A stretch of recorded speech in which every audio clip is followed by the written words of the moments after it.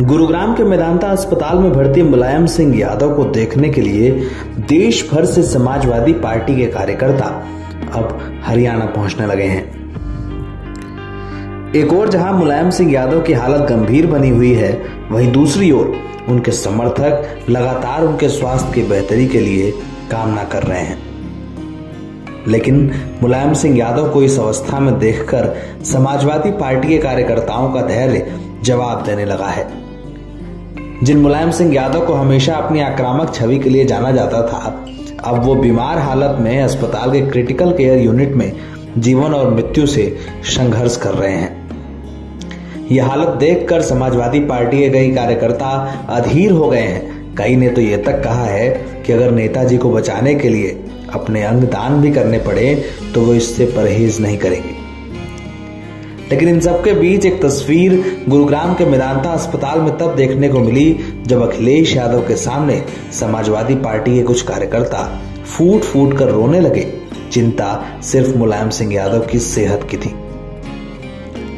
मुलायम सिंह यादव की सेहत की बात कहते हुए समाजवादी पार्टी के कार्यकर्ता रो पड़े तो अखिलेश यादव ने खुद इन सभी को ढांढस बनाया। अखिलेश ने सिर्फ़ इतना कहा, सब ठीक होगा, परेशान नहीं हो।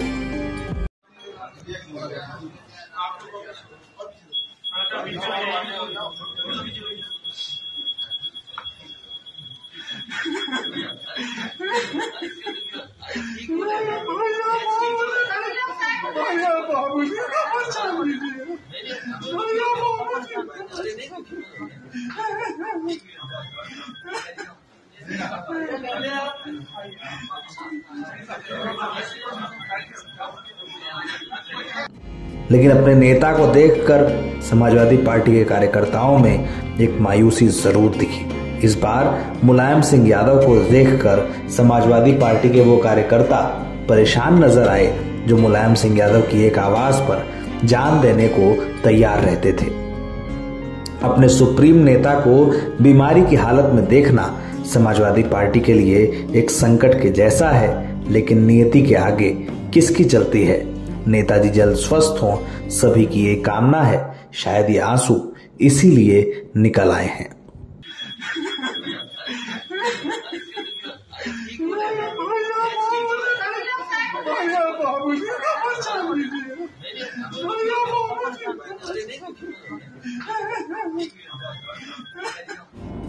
एनबीटी ऑनलाइन की रिपोर्ट